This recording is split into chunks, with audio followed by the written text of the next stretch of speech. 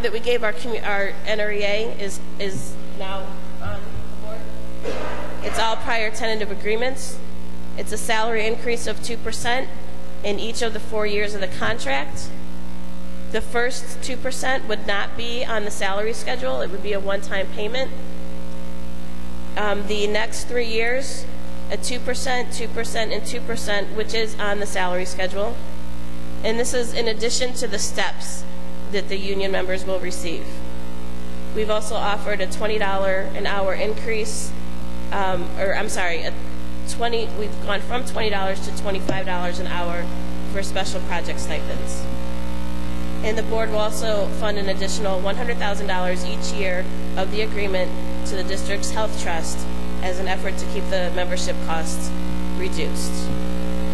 So what that does um, is provides our board um, increases at the next slide. The board would, um, proposal would provide the following increases um, through, through the year of the contract. So if a teacher has a bachelor's degree, um, you can see there that their increase 2% the first year, and then it goes up, including their steps. Six point master's degree, you get your 2%, 6.5.8, 5.7, and a master's plus 30, 2%, 5.3, 5.2, and 5.1. So this is the offer that was made. This is our last best and final offer. We are at impasse with our union. This is not up for discussion tonight. Um, this is for informational purposes only. That is an example of salary increases. Indicative of everything, you know, depends on where people, where people fall on the salary scale. There's percentage increases that you see. I'm going to bring it in, sir. To address the board. Yeah, I just, Thank you. Nelson Grossman. I was up here last month. I live at 35141 Milledge Street, Apartment A101.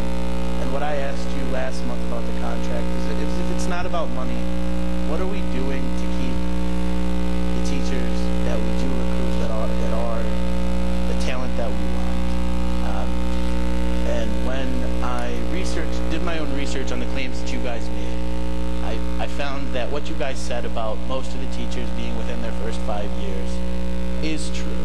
But if that's creating a ten thousand dollar difference with every school in Lorain, what are, what are we gonna what are we gonna do in future years so that we're not just turning over teachers at the bottom? Because that's not gonna get us competitive with every school on the west side, not in Cuyahoga County, but even just Lorain County. What are we gonna do to keep the talent that we do manage to get here in the small community to stay in the community? And I'm, I'm wondering why we're still at impasse if the school district is willing to spend half a million dollars on five buses. I know that you guys don't get paid that well to do this job and there's a lot of volunteerism in it, but don't you think we could get a little more out of half a million dollars? I, I, I know I know that if I go home tonight on my computer, I know that I can find more than five buses for the school district for half a million dollars. And for a hundred thousand dollars a piece, the city mechanic better not find a damn thing wrong with any of the buses. That's a lot of money to spend on five buses, guys.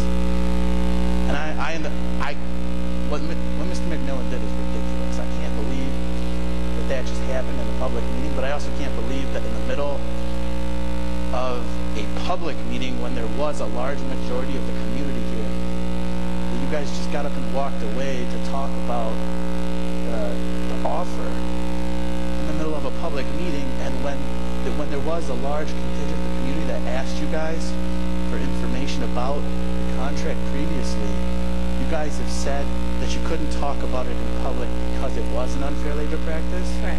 But then you guys went and talked to the But we Chronicle Telegram in before impasse telling the with community. So There's, there- okay. there's a reason. If I can answer some of your I'm- I'm questions. just- If, are you finished? yeah. Okay. Um, the buses come out of a different fund, um, and we have to, um, we have to, as you saw on the agenda, those have to be um, bidded out. So we took our lowest bid and for those buses. Um, that's the price that we have to pay for buses, for school buses. And, you know, I don't set the prices for Right. school No, buses. You. Um, but that comes out of our permanent improvement fund. It's not to be used for salaries for teachers. So it's so that money can't be used for salaries. Um, the other thing about when people asked previously about information and we would not give that information is because we were not at impasse at that time. We did not make our last, best, and final offer to the union at that time, so it would have been a unfair labor practice. Okay, so what, so just out of curiosity for my own clarification, what makes the difference between you being able to openly talk about it when you've reached impasse versus when you're not there? I, well, I don't know all the legal jargon I'm, I'm, behind all I'm- that. I just, I'll I be just want a honest with you. summation. I'm, I don't, I don't want to get in a philosophical argument with you about it. I just, I don't It's a understand. legal issue, and our attorney advised us on that. Okay. Okay. Thank you. I Thank appreciate you. I appreciate you staying. Thank you. If you approach the podium, sir. How much time do we have left? I, I know that you said that this is the last and final offer. Yes. Um, I'm just curious, uh, since you've made the offer, have, has the union rank and file uh, voted on the offer that you've provided? I'm not privy to that information. I do not know. So you, is there anyone who would know? How would we find out uh, if the uh, rank and file have had an opportunity to vote on this offer, which appears to me to be a, a really, a really good offer, and I, Yeah, you'd I'm, I. I would take it. Thank you. You'd have to They're, ask. they're in the parking lot, so. Oh, okay. Well, I don't want to go out in the parking lot.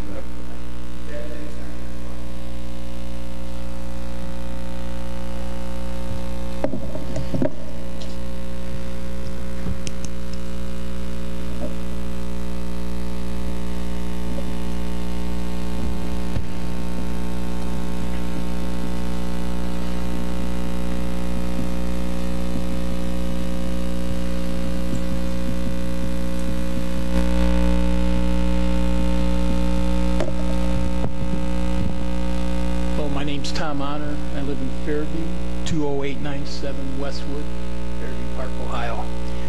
I just wanted to put on the record that uh, I'm the union president for the support staff, and we do support our teachers. I think our teachers are some of the best in all of Ohio. They really do care for our students.